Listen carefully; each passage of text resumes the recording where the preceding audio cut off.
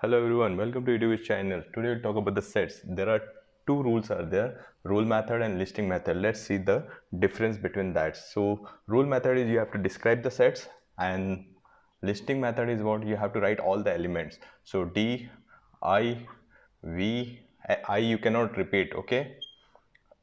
S, O, N. Same thing here. If you solve this, it will be minus 3 and 3 same thing here it will be write the table of 5 5 10 15 20 and 25 you cannot write 30 because it is less than 30 this is the difference between the rule method and listing method. Thank you so much